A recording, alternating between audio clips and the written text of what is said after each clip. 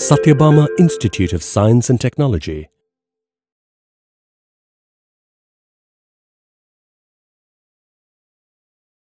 Hi, energetic learners.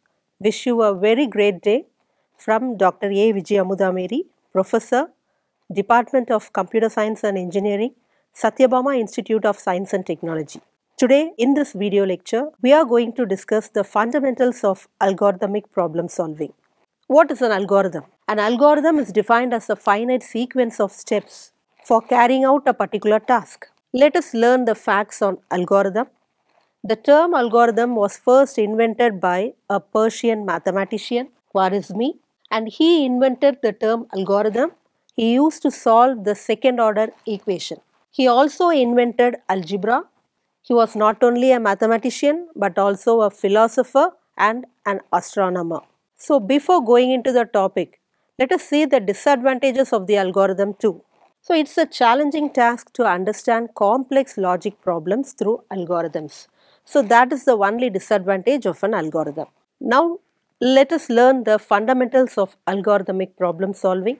All the algorithms must satisfy some criteria that is each and every algorithm should have an input, output, it should be definite, it should be finite and it should be an effective algorithm. So the first one is input. An algorithm should have zero or more quantities of input and then the second one is output. So every algorithm should give a desired value as output. It should give some end result. The third one is definiteness that is each and every step of the algorithm should be crystal clear and it should not be vague. It should be unambiguous. Finiteness so that is an algorithm should have a terminating point after a finite sequence of steps so an algorithm should terminate after a finite sequence of steps. So that is finiteness. Then effectiveness, the degree to which the algorithm is successful in producing a desired result.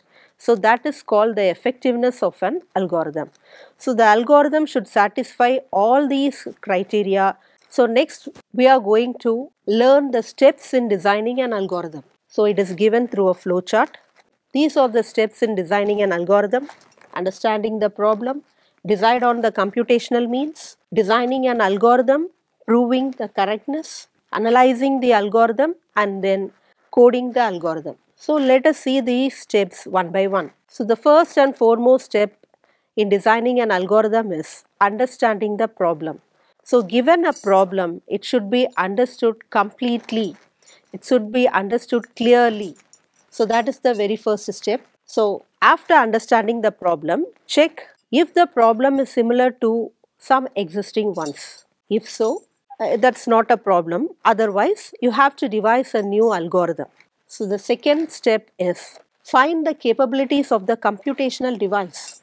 So once the problem is understood, you have to find the capabilities of the computational device. So this is done by knowing the type of architecture the speed and memory availability of the device. The third one is after the algorithm is devised, it is necessary to show that it computes answer for all the possible inputs.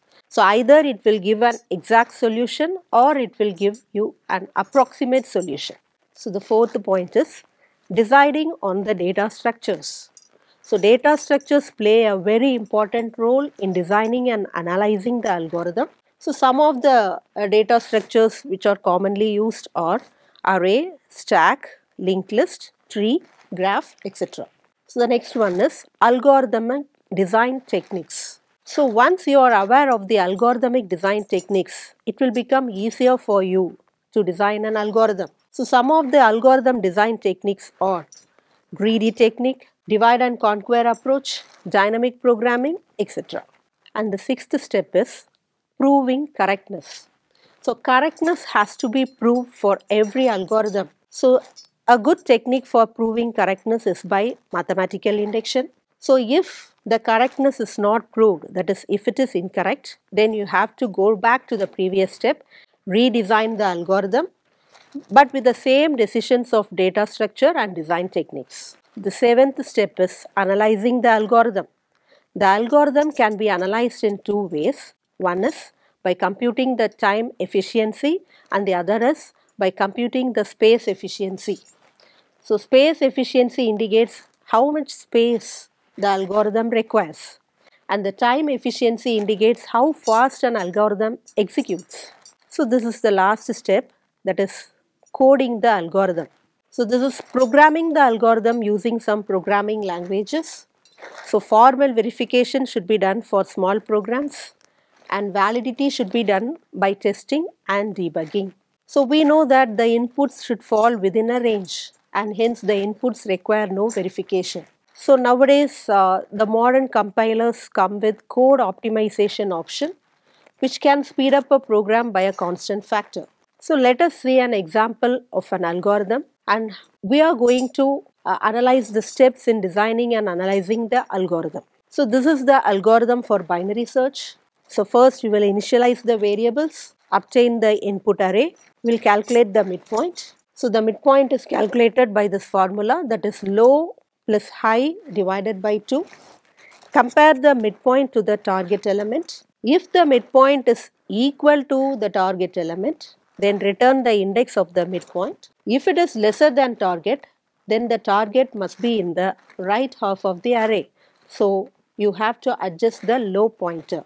Suppose if the midpoint is greater than the target element, then it should be in the left half of the array. So, you have to adjust the high pointer. So these steps 3 and 4 are to be repeated until the target element is found or while low pointer is greater than high pointer. Of course, that is the terminating point for this algorithm. Then we are returning the result. So if the target element is found, return the index mid. If the target element is not found, then you have to return minus 1. So given this problem, that is the problem of finding the binary search First understand the problem, okay. Then find the capabilities of the computing device. The third one is this algorithm will give you an exact solution. So that is the third step. And the fourth step is decide on data structures. So the binary search requires an input array. It works on array. So the data structure needed for this binary search is array. And the fifth step is decide on the algorithmic design technique. So the binary search works by partitioning the input array into two halves according to the middle element. So the algorithmic design technique needed for binary search is divide and conquer approach. So the next step is analyzing the algorithm.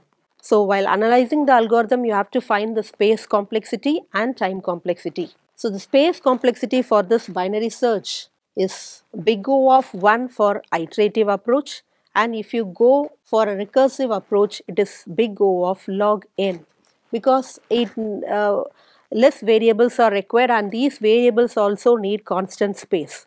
So it is big O of 1 for iterative approach. So the time complexity is also big O of 1. So then we are going to coding the algorithm. So thank you for listening the class patiently. We'll meet you in the next video lecture. Thank you once again.